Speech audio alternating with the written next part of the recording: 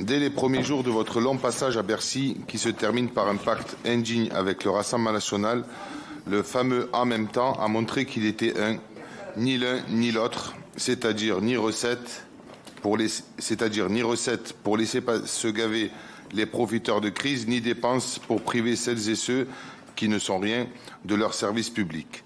Sept ans de décisions que vous avez pris par pure idéologie néolibérale et qui ont pour bilan l'explosion du déficit et de la dette.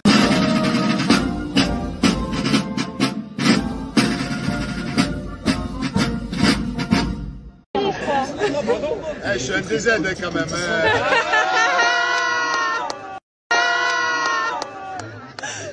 Là, je m'appelle Sébastien. Que, je tire mon chapeau. La seule chose que je dois avoir pour cet homme, le respect. J'ai tellement de respect, j'ai tellement de fierté par rapport à ce qu'il défend, par rapport à sa vérité, par rapport à ce qu'il dit Sébastien Delogu.